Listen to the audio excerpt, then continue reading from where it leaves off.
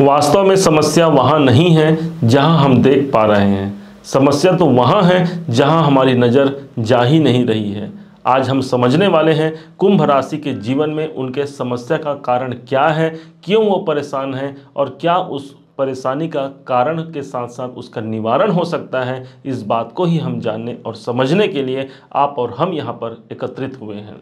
ये वीडियो कुंभ राशि के लिए एक ऐसी वीडियो हो सकती है जो इनके जीवन में सफलता के श्रेष्ठ मुकाम तक इन्हें ले जा सके। इसलिए ध्यान से समझिएगा, सबसे जो प्रथम पॉइंट होगा, यही है नौ ग्रहों का प्रभाव।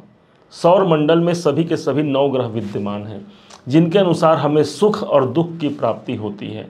यूँ माने तो इस सभी ग्रह हमारे किसी न किसी कार्य क्षेत्र को प्रभावित करते हैं, जैसे कि शनि देवता आपके अपने राशि पर ही विद्यमान है। शनि देवता कर्म के कारक हैं। आपको कर्म प्रदान करेंगे। इनकी दृष्टि, दसम दृष्टि आप एक कैरियर भाव पर है। कैरियर में कोई विशेष सफलता निकाल करके आपको दे जाएँगे। और ये समय अभी चल भी रहा है और विशेष प्रभावी रहेगा उनतीस मार्च दो हज़ार पच्चीस तक का। करीब करीब सवा साल के समय पर क्या हमारे जीवन में बहुत कुछ परिवर्तन हो जाएगा? इसके लिए आप ये समझिए कि सभी नौ ग्रहों में कौन से ग्रह हमें क्या फल दे रहे हैं? शनि देवता तो चलिए भाई, आपके राशि के स्वामी हैं, आपको अच्छा प्रतिफल दे रहे हैं। लेकिन दूसरे तरफ़, यहाँ पर देखिए राहुदेव को।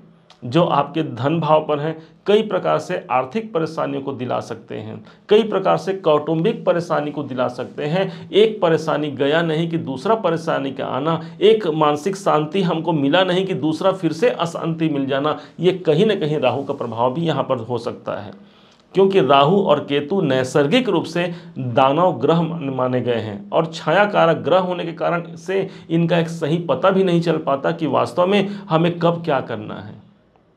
इसका एक मुख्य कारण हो सकता है नौ ग्रहों का प्रभाव जो सटीकता से हमें नहीं बैठ पाता। दूसरा सबसे इंपॉर्टेंट जो पॉइंट होगा, देवगुरु बृहस्पति का वक्री होना। पिछले चार महीने से देवगुरु बृहस्पति वक्री अवस्था में चल रहे हैं और आपके पराक्रम भाव पर।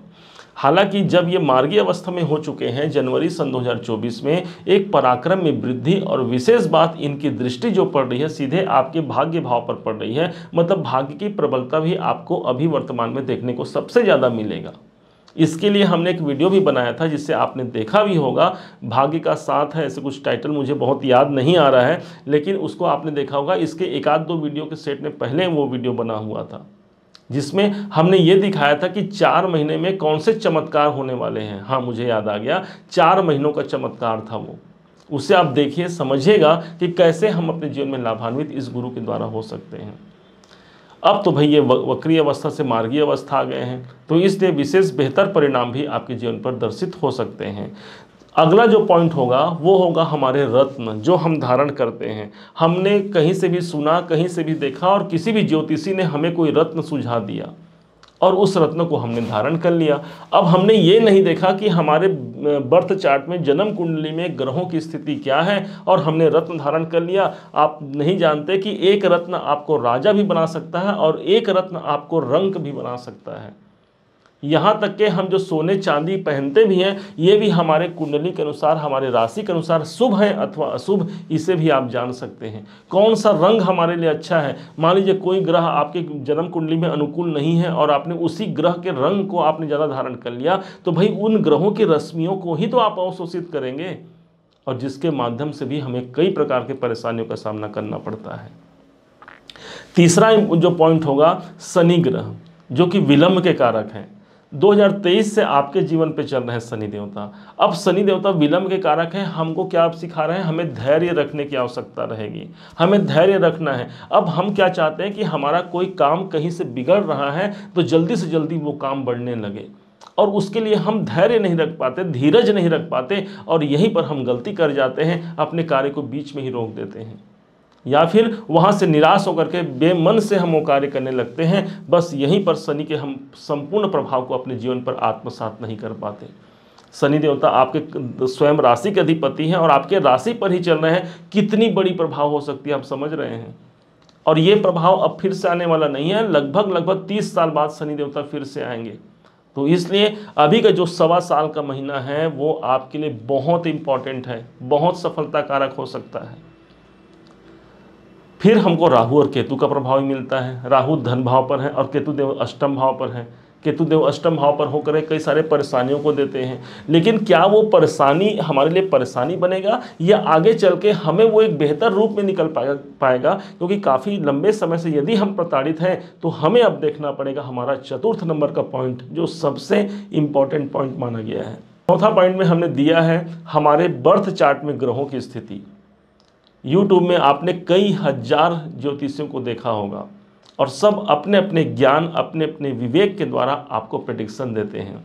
लेकिन क्या आप जानते हैं कि कोई भी प्रिडिक्शन आपके बर्थ चार्ट में यदि वहाँ पर जब तक हम उसे कैलकुलेशन नहीं करेंगे, वो प्रिडिक्शन आपका शत प्रतिशत सिद्ध नहीं होगा। और जिसके कारण से यहाँ तो बताया जा रहा है भाई कि शनि देवता आपके लग्न में है, आपके जीवन में कैरियर में बढ़ोतरी हो जाएगी। शनि देवता पराक्रम भाव में है, आपके अंदर साहस की वृद्धि होगी। भाई, जो आदमी दुख और तकलीफ़ में अपने आप को सह रहा है, वो कैसे अपने जीवन को वृद्धि करने जाएगा? उसके तो एक एक दिन एक एक समय एक एक पल कितना कीमती है और वो कैसे काट रहा है, जो व्यक्ति दुख में है, वो व्यक्ति जानेगा। लेकिन आपको करना क्या है? अपने जन्म कुंडली का विश्लेषण कराइए किसी जानकार ज्योतिषी से, जो इन जो गोचर में चल रहे ग्रहों को मर्ज करके, मिलान करके एक सही प्रडिक्शन आपको दिला सके। हम आपसे कभी नहीं कहते और न ही कोई आपका, हमारा नंबर आपको फ्लैश होते हुए दिखाई देगा यूट्यूब चैनल में। इसका मतलब यह है, हम नहीं चाहते कि हम किसी प्रकार से आपसे कोई सेवा शुल्क लें। हाँ हम ये ज़रूर चाहते हैं कि किस प्रकार से आप ग्रहों के माध्यम से अपने जीवन को बेहतर बना सकते हैं। हमारा कोई भी वीडियो आप निकाल करके देख लीजिए, हम सभी ग्रहों के माध्यम से आपको लाभ दिलाने का प्रयास करते हैं और स्वयं के उपाय के द्वारा हम चाहते हैं कि आप अपने ग्रहों को समझें और उससे लाभ लीजिए। इस कारण से अपने कुंडली का विश्लेषण किसी जानकार ज्योतिष से ज़रूर कराइए। शायद पता चल पाए कि महादशा काहे की चल रही है। अंतरदशा प्रत्यंतर दशा काहे की चल रही है। महादशा मान लीजिए अभी एक, एक उदाहरण देते हैं। शनि की महादशा है उन्नीस साल की दशा होती है शनिदेव की। अब इस दरमियान क्या 19 साल व्यक्ति सुख ही सुख प्राप्त करेगा या फिर दुख ही दुख प्राप्त करेगा? ऐसा नहीं है।